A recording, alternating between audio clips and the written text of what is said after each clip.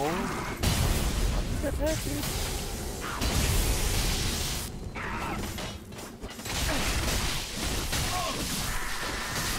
Dude, longsword is so meta. Longsword is so meta. Yes,